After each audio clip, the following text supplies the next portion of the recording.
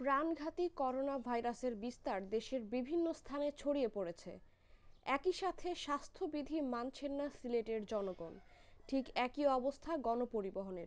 স্বাস্থ্যবিধি মেনে সীমিত পরিসরে গণপরিবহন চালুর কথা থাকলেও অনেকে তা মানছে না। দেখা যায় সিলেট নগরী ও তার বাইরে যানবাহনগুলো স্বাস্থ্যবিধি না মেনে যাত্রী উঠা নামানো হচ্ছে। অপরদিকে বন্দরবাজার, আম্বরখানা, মদিনা মার্কেট সহ বেশ কয়েকটি এলাকায় কাঁচা বাজারগুলোতে সামাজিক দূরত্ব না মেনে ভিড় জমাচ্ছেন অনেকে। এতে করোনা সংক্রমণের সংখ্যা আরও বৃদ্ধি পাচ্ছে।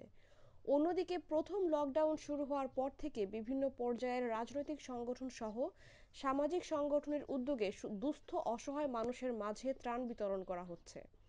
এছাড়া বর্তমান পরিস্থিতি, অবস্থা নিয়ে বাংলাদেশ জাতীয়তাবাদী ছাত্রদলের নেতৃবৃন্দরা সিলেটের বিভিন্ন স্থানে দুস্থ ও অসহায় মানুষদের মাঝে খাদ্য সামগ্রী বিতরণ করছে। এ বিষয়ে দলের পদে থাকা সিলেট জেলা ও মহানগর ছাত্রদলের নেতৃবৃন্দরা জানান। আমরা বর্তমান করোনা পরিস্থিতিতে বাংলাদেশ জাতীয়তাবাদী ছাত্রদল, সিলেট জেলা এবং মহানগর শাখার পক্ষ থেকে এবং জেলা এবং মহানগর যুবদলের পক্ষ থেকে প্রায় দুই তিন হাজার পরিবারকে আর্থিক সহযোগিতা করা হয়েছে এবং আগামী দিনেও বাংলাদেশ জাতীয় দল বিএনপির করোনার যে একটা সাংগঠনিক টিম গঠন করা হয়েছে সেই সাংগঠনিক টিমেরও আমাদের একটা কার্যক্রম চলতেছে। এই করোনা পরিস্থিতিতে বর্তমান যে মহামারীতে গরিব এবং অসহায় মানুষ, দরিদ্র মানুষ, খাবার বা বিভিন্ন তেল সামগ্রী পাচ্ছে না, সেটুকু আমাদের সংগঠনের পক্ষ থেকে সবার বাসায় গিয়ে আমরা পৌঁছে দিতে সক্ষম হয়েছি। এবং যদিও এই করোনা পরিস্থিতি আগামীতে আরও বেগমান হয়ে থাকে, বাংলাদেশ জাতীয়তাবাদী ছাত্রদল সবসময় তাদের পাশে থাকবে, দরিদ্র, অসহায় মানুষের পাশে গিয়ে সহযোগিতার হাত বাড়িয়ে দেবে, অতীতে যেভাবে দিয়েছে, আগামীতেও দেবে ইনশাল্লাহ। যে বা যারা এখনও ত্রাণ সামগ্রী প্রাণ নাই, আমাদের জাতীয়তাবাদী দল, বিএনপি, যুবদল, ছাত্রদল, স্বেচ্ছাসেবক দল সকলর আমাদের সংগঠনের পক্ষ থেকে আমরা তাদের বাসা বাড়িতে গিয়ে আমরা পৌঁছে দেওয়ার চেষ্টা করব। বহুদলীয় গণতন্ত্রের প্রবর্তক শহীদ প্রেসিডেন্ট জিয়াউর রহমানের কিছুদিন আগে আপনারা জানেন একত্রিশ একত্রিশতম সাদত বার্ষিকী গেছে।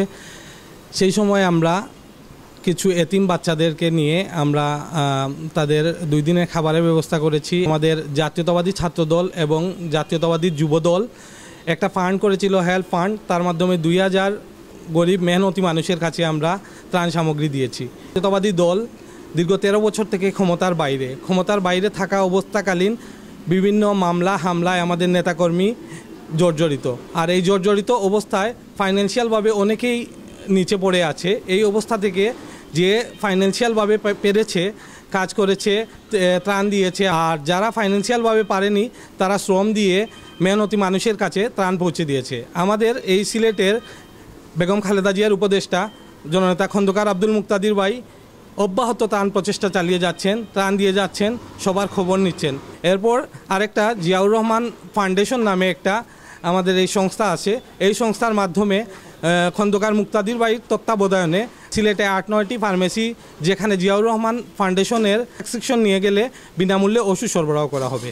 ভবিষ্যতে আমরা চেষ্টা করছি, অব্যাহত চেষ্টা ব্যক্তিগত পর্যায়ে এবং দলের পক্ষ থেকেও কাজ চলছে। এদিকে দল মত নির্বিশেষে সকলকে পাশে থেকে মহামারী করোনা ভাইরাস মোকাবেলায় এগিয়ে আসার জন্য আহ্বান জানান সিলেট মহানগর ছাত্র দলের সাধারণ সম্পাদক ফজলে রাব্বি আহসান।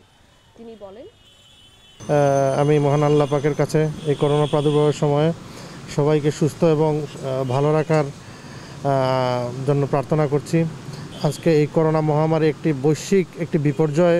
বাংলাদেশে যে করোনা আক্রান্তের সংখ্যা বা মৃতের সংখ্যা দিনের দিন লাফিয়ে লাফিয়ে বাড়ছে এবং এটির, এটি যে ঊর্ধ্বমুখী ধারণ করছে, যে গ্রাফটা যে ঊর্ধ্বমুখী, তাতে বাংলাদেশের মানুষের জন্য একটি অশনু সংকেত।